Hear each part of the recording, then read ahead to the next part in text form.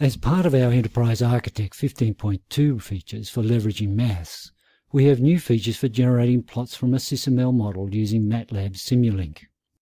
For this example, we are modeling a signal processor that takes a waveform signal and splits this into a high-pass filter and a low-pass filter and sums the results in an output mixer.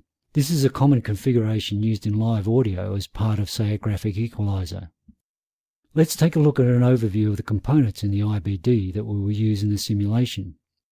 Here we have a signal source, a signal processor, and an output. The actual block diagram defines our component types. This includes a block for an input amplifier, high and low pass filters, and an output mixer.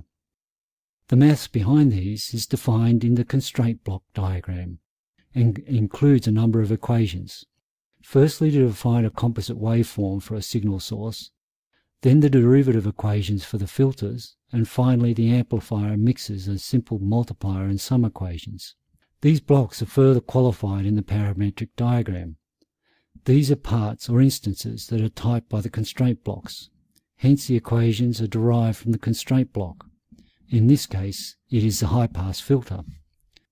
The flow of this is defined in this IBD, signal processor, here a source signal is amplified, then split into the high pass filter and low pass filter, then summed in the mixer. Back to our main block, we see that our constants of variables are defined here as PHS constants and PHS variables, in conformance with the new SysPhS modeling and ready to use with either Simulink or OpenModelica. Okay, let's try simulating this using Simulink. On opening the simulation configuration, we can see that the SysPhS constants and variables are viewable in the blocks. From the drop-down, we select Simulink and then set what properties we want to plot.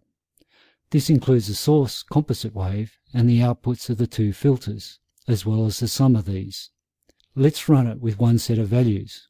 We see that this is plotted in Simulink, giving us the results for one dataset. Now let's change our dataset and try a rerun. We can now see the results returned from Simulink differ for the low pass filter.